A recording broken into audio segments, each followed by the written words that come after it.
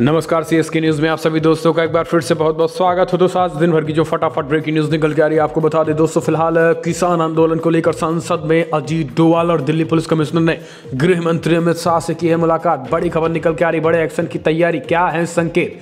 दूसरी बड़ी अपडेट निकल के आ रही है दोस्तों फ़िलहाल भारत की सख्त आपत्ति से झुका विश्व स्वास्थ्य संगठन नक्शा विवाद में जारी किया स्पष्टीकरण। जी हाँ, आपको बता दें फ़िलहाल डब्ल्यूएचओ नक्शा हटाएगा डब्ल्यू इस बीच तीसरी बड़ी अपडेट निकल के आ रही है दोस्तों एस फोर हंड्रेड रूस भारत को इस साल दे देगा ब्रह्मास एस फोर हंड्रेड भारतीय सैनिकों ने शुरू की ट्रेनिंग हाँ बड़ी खबर ये भी आपको बताएँगे तो दोस्तों सब कुछ खबर एक करके विस्तार से बताएँगे ग्रेटा थनबर्ग एक्सपोज हो चुकी है पूरी तरीके से खालिस्तानियों के समर्थन के लिंक आए जी हाँ बड़ी खबर निकल के आ रही है ग्रेटा को खालिस्तान समर्थन खालिस्तान के समर्थन में मिला है तो ये भी आपको बताएँगे कैसे और राज्यसभा में कृषि मंत्री ने एक्सपोज कर दिया है कांग्रेस पार्टी को पूरी तरीके से।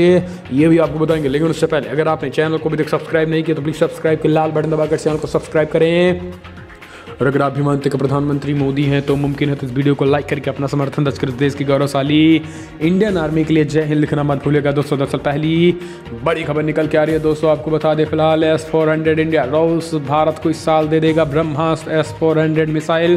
भारतीय सैनिकों ने परीक्षण शुरू किया। जी हाँ ट्रेनिंग लेना रूस में बड़ी खबर निकल के आ रही। चीन और पाक की खैर नहीं है। रशिया ने ऐलान किया है कि वो तय समय पर इस साल भारत के आखिरी तक S four hundred missile defence system Bharat को सौंप देगा। S four hundred missile air defence system बनाने वाले रूसी कंपनी ने कहा है कि भारत के साथ समझौते को तय समय में पूरा किया जाएगा। इससे पहले रूसी सेना के तकनीकी सहयोग मामले के डायरेक्टर व्लादिमिर दोजझोव ने खुलासा किया था कि फ़िलहाल भारतीय सेना के विशेषज्ञ ने इस ब्रह्मास्त्र को चलाने के लिए ट्रेनिंग भी शुरू कर दी है।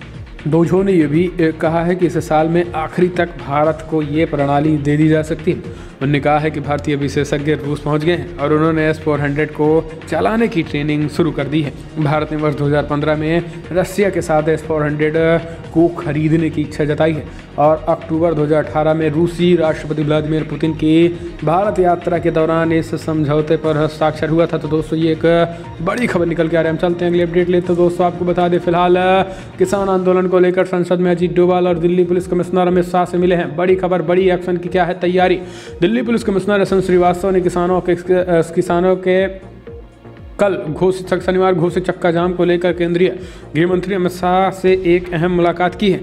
गुरुवार को दोनों के बीच संसद भवन में उच्च स्तरीय बैठक हुई है। सूत्रों का कहना है कि इस बैठक में एनएसए अजीत डोवाल भी मौजूद थे। संसद में गृह मंत्री के दफ्तर में ये बैठक बुलाई गई है। बताया जा रहा है कि दिल्ली पुलिस कमिश्नर दिल्ली में किसान आंदोलन को देखते हुए जो माहौल है, उसको लेकर गृह मंत्री शाह को अपडेट किया है। आगे और क्या किया जाना चाहिए, इसको लेकर आपको बता दें, जिस तरीके से भारत विरोधी साजिश विदेशों से रची जा रही है और बड़े पैमाने पर फर्जी किसानों की फंडिंग हो रही है। उस पर एनएसए अजीत डोवाल की नज़र है और कड़े एक्शन की तैयारी में है गृह मंत्रालय।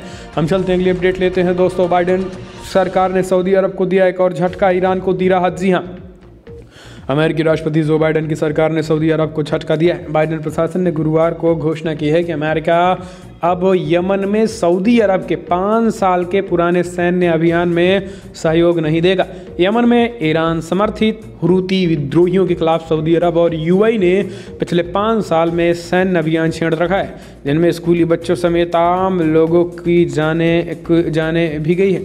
अमेरिका के इस फैसले को ईरान के हक में माना जा रहा है। राष्ट्रपति बनने के बाद बाइडेन पहली बार विदेश मंत्रालय गए और वहाँ मौजूद राजनयिकों से बातचीत भी की थी। बाइडेन ने राजनयिकों से कहा कि इस युद्ध को खत्म करना होगा।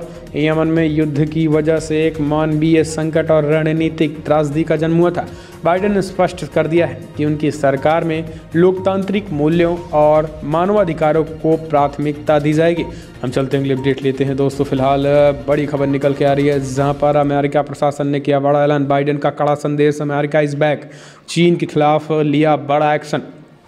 अमेरिका के राष्ट्रपति जो बाइडेन ने गुरुवार को अपना पहला राजनयिक भाषण दिया है। उन्होंने वैश्विक मंच से चीन को कड़ा संदेश दिया है। उन्होंने कहा कि अमेरिका इज़ बैक की घोषणा कर दी है। राष्ट्रपति बाइडेन ने कहा है कि चीन द्वारा पेश की जाने वाली चुनौतियों का अमेरिका सीधे तौर पर सामना करेगा, लेकिन साथ ही देश हित में बीजिंग के साथ मिलकर काम करने से भी नहीं कतराएगा। बाइडेन ने विदेश मंत्रालय के कर्मचारियों को फॉगी बाटम मुख्यालय में संबंधित करते हुए चीन द्वारा आर्थिक शोषण का मुकाबला करेंगे। मानवाधिकार, बौद्धिक संपदा और वैश्विक शासन पर चीन के हमले को कम करने के लिए दंडात्मक कार्रवाई करेंगे।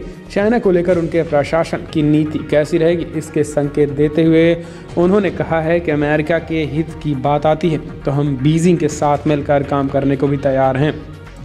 हम चलते अगले अपडेट लेते हैं। दोस्तों, बड़ी खबर निकल के आ रही है, जहाँ पर आपको बता दें, फ़िलहाल बाइडेन सरकार ने सऊदी अरब को दिया झटका, जी ईरान को कहीं ना कहीं तरीके से हम चलते हैं। अगले अपडेट लेते हैं। दोस्तों, आपको बता दें, फ़िलहाल डब्ल्यू जी हाँ भारत की सख्त आपत्ति से झुका डब्ल्यू एच ओ नक्शा विवाद में जारी किया स्पष्टीकरण।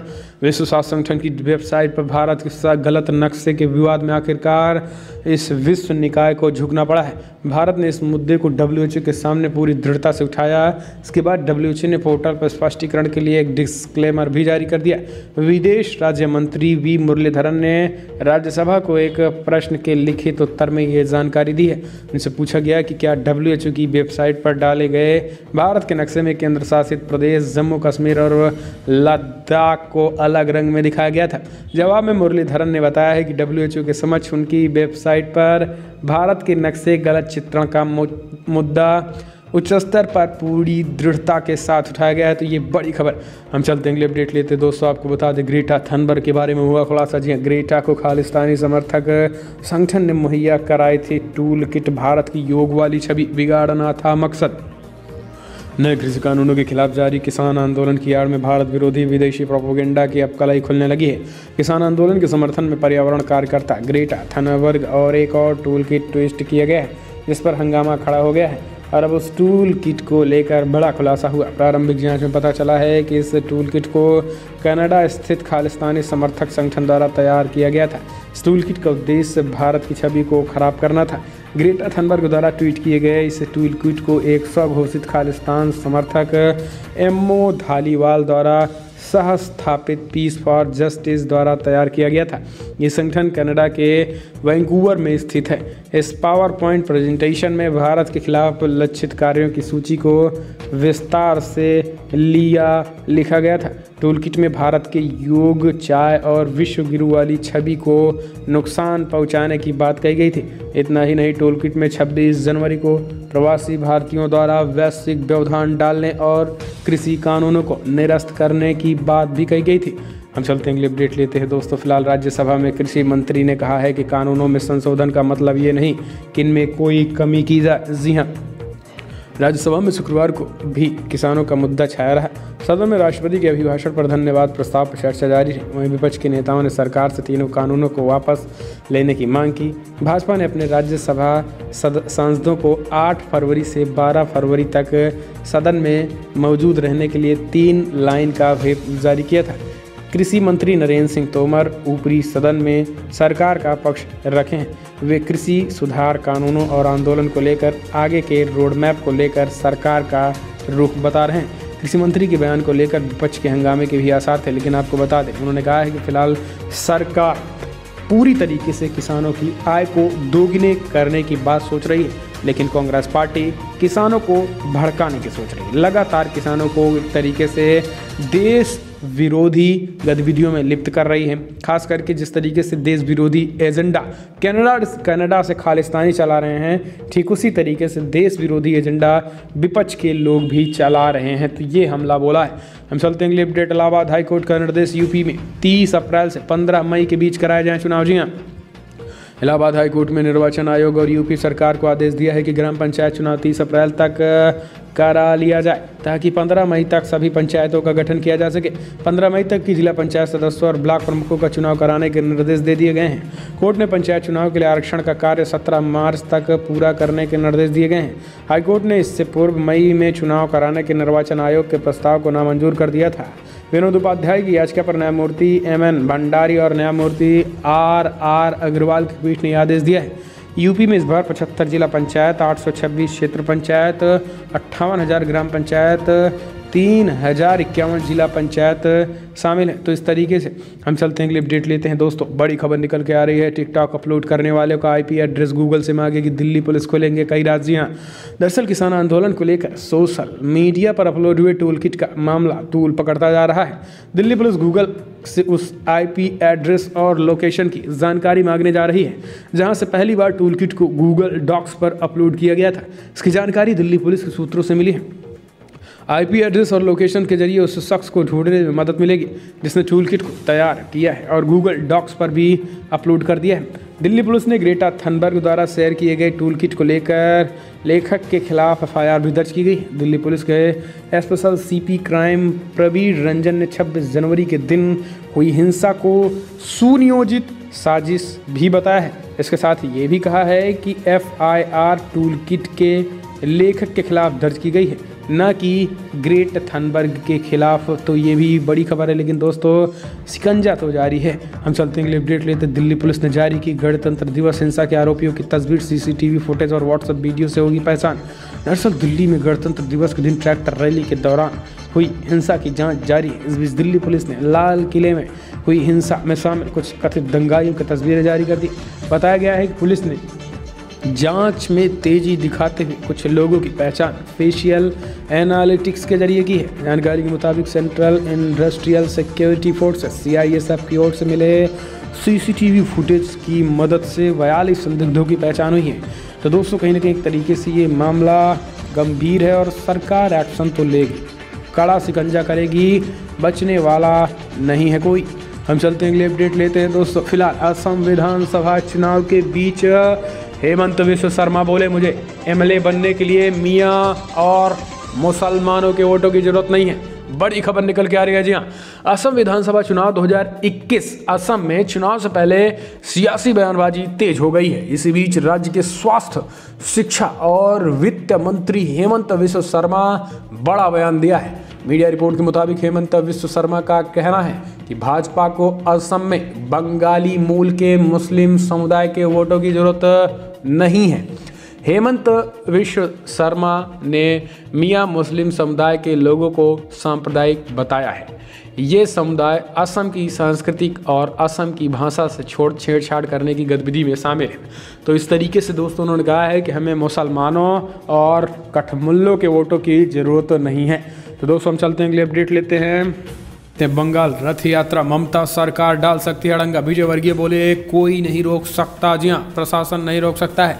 दरअसल पश्चिम बंगाल में विधानसभा के चुनाव होने हैं। ऐसे में सभी पार्टी लोगों को अपनी तरफ़ से करने की तैयारियों में जुटी हुई हैं। इसी कड़ी में भाजपा फरवरी और मार्च के महीने में रथ यात्रा निकालने वाली है। भाजपा की इस रथ प्रस्तावित रथ यात्रा को लेकर कोलकाता उच्च न्यायालय में याचिका दायर की गई है। वहीं कहा जा रहा है कि ममता सरकार भी भाजपा को यात्रा निकालने की अनुमति देने के मोड में नहीं है। हालाँकि टीएमसी ने सफ़ाई देते हुए कहा है कि उसने किसी भी यात्रा को अनुमति देने से मना नहीं किया है। दूसरी ओर भाजपा नेताओं के एक प्रतिनिधिमंडल ने शुक्रवार को चुनाव आयोग से मुलाकात की है। पार्टी नेता भूपेंद्र यादव सहित पश्चिमी बंगाल के भाजपा नेताओं के एक प्रतिनिधिमंडल ने भाजपा निर्वाचन आयोग से मुलाकात की है। यादव ने कहा है कि फ़िलहाल कई चरणों में मतदान होना, होगा। टीएमसी के इशारे पर काम करने वाले अधिकारियों को बदल दिया जाना चाहिए। प्रतिनिधिमंडल ने बंगाल में केवल प्रशिक्षित केंद्रीय पुलिस बलों के सदस्यों को तैनात करने की मांग की ताकि चुनाव प्रक्रिया में निष्पक्षता, गरिमा और पवित्रता सुनिश्चित की जा सके। हम चलते हैं अपडेट लेते हैं। टिकटॉक अपलोड करने वालों का आईपी एड्रेस गूगल से मांगेगी। दिल्ली पुलिस खुलेंगे कई राज्य। जी हाँ किसान आंदोलन को लेकर सोशल मीडिया पर अपलोड हुए टूल किट का मामला तोल पकड़ता जा रहा है। दिल्ली पुलिस गूगल से उस आईपी एड्रेस और लोकेशन की जानकारी मांगने जा रही है, जहाँ से पहली बार टूल किट को गूगल डॉक्स पर अपलोड किया गया था। इसकी जानकारी दिल्ली पुलिस ने सूत्रों से मिली जान, मिली आईपी एड्रेस और लोकेशन के ज़रिए उस शख्स को ढूँढने में मदद मिलेगी, जिसने टूल किट को तैयार किया है और गूगल डॉक्स पर अपलोड किया है। दिल्ली पुलिस ने ग्रीटा थनबर्ग द्वारा शेयर किए गए टूल किट के लेखक के खिलाफ एफआईआर दर्ज की है। दिल्ली पुलिस के special CP crime Praveen Ranjan ने 26 जनवरी के दिन हुई हिंसा को सुनियोजित साजिश बताया था। इसके साथ ही ये भी कहा है कि एफआईआर टूल किट के लेखक के खिलाफ दर्ज की गई है। ना कि ग्रेट थनबर्ग के खिलाफ ग्रेटा थनबर्ग के खिलाफ। आपको बता दें कि पहले सोशल मीडिया पर अफवाह उड़ी थी कि एफ़ ग्रेटा थनबर्ग के खिलाफ हुई है। आपको बता दें कि स्वीडन की ग्रेटा थनबर्ग ने गुरुवार को ट्वीट करके कहा है कि मैं अभी भी किसानों के साथ खड़ी हूँ और उनके शांतिपूर्ण विरोध प्रदर्शन का समर्थन करती हूँ। हम चलते हैं लिप्ट राज्यसभा लाइव तोमर बोले, किसानों से दो महीने तक यही पूछता रहा कि कृषि कानूनों में काला क्या है? लेकिन कोई अभी तक नहीं बता पाया उन्होंने कहा है फ़िलहाल एक राज्य के छोड़कर और किसी भी राज्य में नहीं हो रहे हैं इस तरीके के प्रदर्शन। जी हाँ आपको बता दें, राज्यसभा में कृषि मंत्री नरेंद्र सिंह तोमर ने कहा है फ़िलहाल खरीद में पारदर्शिता आए हैं। इसके लिए एक हज़ार मंडियों को ई नाम मंडी के रूप में परिवर्तित किया गया हमारी कोशिश रही है कि किसानों की आमदनी दोगुनी हो। कृषि सुधार बिल भी इसी दिशा में महत्वपूर्ण कदम है। मैं किसानों से कहना चाहता हूँ कि नरेंद्र मोदी किसानों के लिए समर्पित हैं और रहेंगे। आगे देश बढ़े, गाँव आगे बढ़े और किसान आगे बढ़ें। इन्हीं उद्देश्यों के साथ किसान काम कर रहे हैं। हम चलते हैं अपडेट लेते हैं। दोस्तों, बड़ी खबर निकल के आ रही है, आपको बता दें फ़िलहाल। व्हाट्सअप की नई प्राइवेसी पॉलिसी को चुनौती देने वाली सीएआईटी की याचिका पर सुनवाई से सुप्रीम कोर्ट का इनकार दिया सुप्रीम कोर्ट ने व्हाट्सएप की नई निजदा पॉलिसी को चुनौती देने वाली confederation of all India traders CAIT की याचिका पर विचार करने से इनकार कर दिया गया है। भारत के मुख्य न्यायाधीश जस्टिस शरद अरविंद बोबड़े की अध्यक्षता वाली पीठ ने दिल्ली हाई कोर्ट जाने को कहा है। दरअसल confederation of all India traders यानी सी ए आई टी ने सुप्रीम कोर्ट से ये भी आग्रह किया है कि वो केंद्र सरकार को ये निर्देश दे कि वो फेसबुक और व्हाट्सअप जैसे तकनीकी कंपनियों को संचालित करने के लिए एक गाइडलाइन बनाए।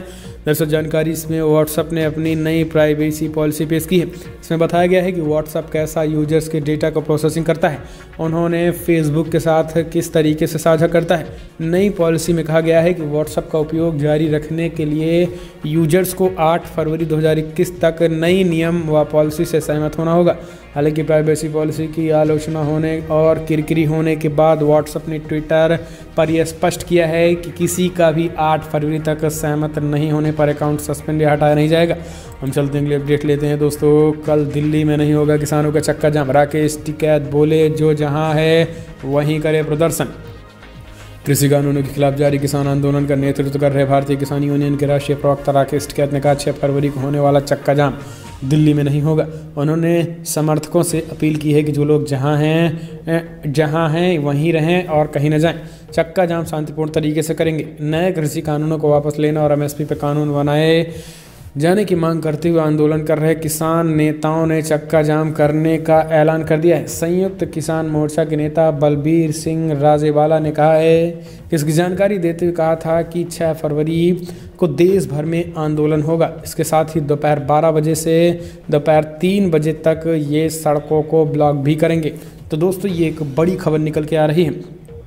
फ़िलहाल दोस्तों, आज की बड़ी खबर में इतना, लेकिन अगर आपको वीडियो पसंद आए तो लाइक करें शेयर करें, लेकिन कहीं ना कहीं तरीके से किसान सरेंडर हो चुके हैं। जिस तरीके से फर्जी किसान तांडव किए थे दिल्ली में, उसके बाद जो एक्शन शुरू हो रहा है, उसके बाद अब इस तरीके की चक्का जाम करना नहीं चाहते हैं। तो दोस्तों, फ़िलहाल बड़ी खबर मिलना लेकिन अगर आपको वीडियो पसंद आए तो लाइक कर शेयर करें कमेंट के माध्यम से आप अपनी राय देना ना भूलें। इस वीडियो तो नहीं जय हिंद, जय भारत।